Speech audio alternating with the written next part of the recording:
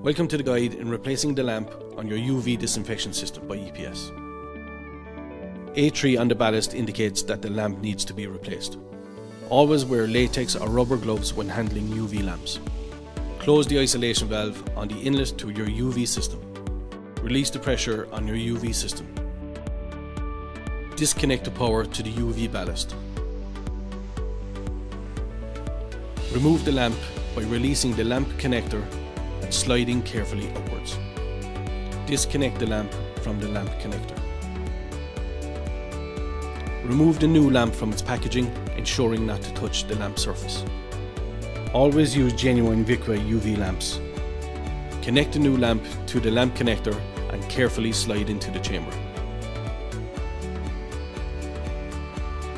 To reset the countdown timer, press and hold the reset button while connecting the power. The ballast will now show 365 on the screen. Open the isolation valve to the UV disinfection system. You've now replaced the lamp in your integrated UV disinfection system by EPS. For information on any of our products, go to epswater.ie or contact your local EPS branch. EPS Rethinking Water.